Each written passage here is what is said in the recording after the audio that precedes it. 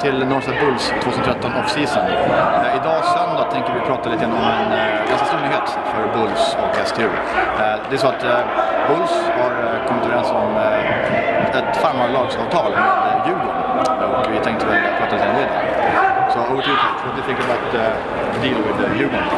I think it's great. I think it's a win-win situation for lot of people. I mean, we've got a, a bigger roster this year, and um, it's a great opportunity for us to help another club, Djurgården, that's starting up and trying to rebuild some things because we've got a lot of players. We've got a good, uh, good group of talented guys with no experience, but good athletic guys that can help other teams and eventually develop their skills and then come back to us and, and help us out in the future.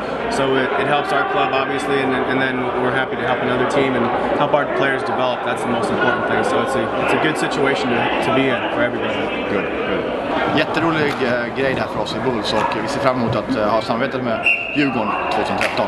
Eh, speciellt med Andreas Östlund som headcoach och vi ser att det här kommer göra att vi som Bulls och även Djurgården kommer vara det självklara valet för många spelare i Stockholm och norrort.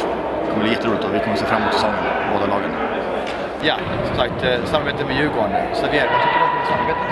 Um, looking forward to it. I mean, we were uh, the whole deal with Djurgården right now coming back after uh, a year off, a couple of years off actually. We our goal right now and the focus is to develop players, to help players develop and help the, the sport itself. You know, um, we have a good product in Djurgården, and uh, and the coaching staff is looking forward to develop players. And Division One is the level we want to be right now. We're starting off, and it's a good combination because we want to give our players the opportunity if they want to take a step up to to Super Series and work with a good organization that you guys have running and, um, and give them the opportunity to be able to practice with you guys and from your part will help you guys develop some players for the future. So it felt good, it felt natural. We also have some connections.